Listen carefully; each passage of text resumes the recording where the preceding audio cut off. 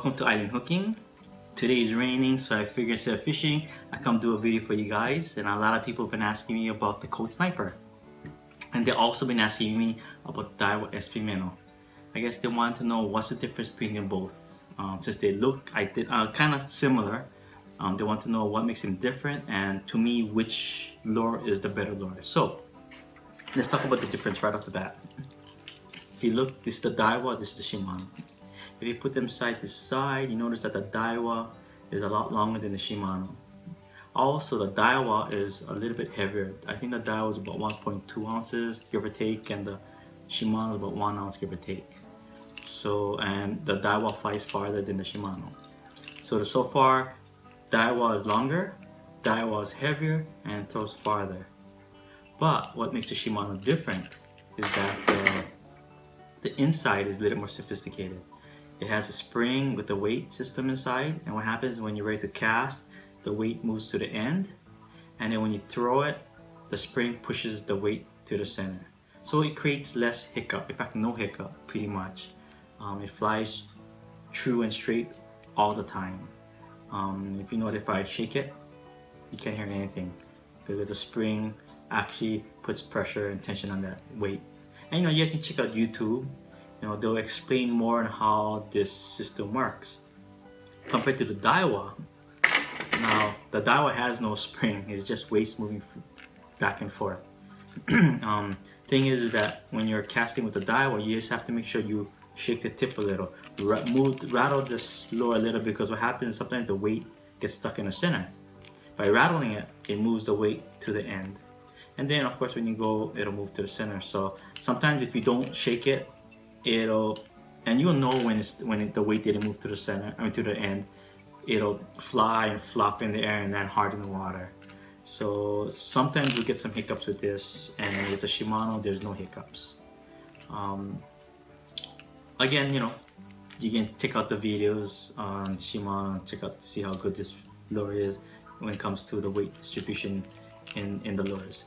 Um, but I gotta say that the Shimano swims nice in the water, um, but the Daiwa swims harder. Um, now I use I use soft pose for this, like on Ugly Stik, because the, the tip is softer. I mean, you can use a stiffer pose, but I prefer to use the soft pose Ugly Stik because I like the tip do a lot of the action, and of course these lures you don't have to do much, but I, I like to feel the lure and when I, I'm using the Shimano, I can barely feel it going left to right compared to the Daiwa. I mean, the Daiwa, you can feel it right to the pole. I can feel it going left to right really hard. And to me, I know, I know, I think that the the, the fish in Hawaii, the Milu or the GT, they love when the fish gives a little more action. But yet, keep in mind though, I did catch with both of them. I did miss one and caught a blue bone with this. I did miss one and I caught on a Milu with this. So know, they do work. And that's why I keep both of them. Um, they're great lures to have. Uh, this is the sinking one, by the way, and this is the floating one. Uh, difference, this one stays above the water and this one doesn't. This one goes, you can choose the depth that you like. And, and one thing I like about sinking, I like that idea where I get to choose the depth. But I do have the floating one for the um, Daiwa as well. It works the same as the sinking, except of course it won't go as deep as this. It will probably go about three feet deep and that's about it. And up um, but still great lure to have. Uh, but if I had to um, choose the lure I would have to pick the Daiwa. And the only reason why I picked the Daiwa over the Shimano is that um, though they both throw they both fly far because this one flies a tad farther um, yeah, yet there's still great lures for the smaller bays um, and you know get them around the rocks or the GT you know maybe like to hide and ambush. And you can get in between the rocks and all that. So these lures are so good to have in tackle box. But not only does it throw a little bit farther I like it because for one thing if you look at it I don't know I, I, I just think that the Daiwa puts out better light. It has better prism it shines better and I just think that it looks like more like scales compared to the, the Shimano. Um, but that's just to me, you know. Uh, but yet they still shine great in the water. I, I just think that this one shines just a tad better. Um, and also I like the left to right action. The, the, the, the, the, it banks harder than the Shimano.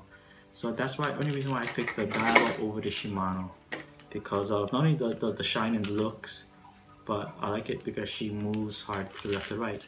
You know, it creates a little more action. And I think the fish here in Hawaii do like that. Uh, but yet, I still keep both of them because again, to me, they're still great lures, um, and I did catch with both. But if I had to choose, would be this. So that's just my two cents. That's just me. And some of you guys might pick the Shimano over the Daiwa and vice versa. But I hope this kind of clears it up for you guys um, a little bit on the differences and which one I feel is the better lure. And again, they still work great. They're almost similar in the water. They, you know, distance is almost the same, so just a little bit, tad, you know, farther. They both fly straight, except the Shimano to me flies a tad straighter. Um, this one no hiccups when when when casting. This one have once in a while. Um, longer, shorter, but to me, shines better and has better action. So um, that's just me. But I'll, of course, still be using this. I still have my tackle box and I'm gonna catch more fish with this and you guys get to see it on island hooking.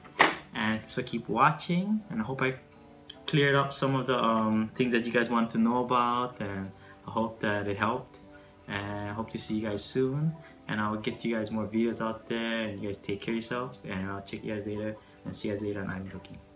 Take care.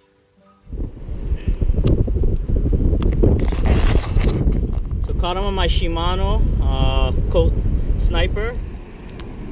Whew. Wow, right in the head, in the body. Oh, I like that, yeah? Wow.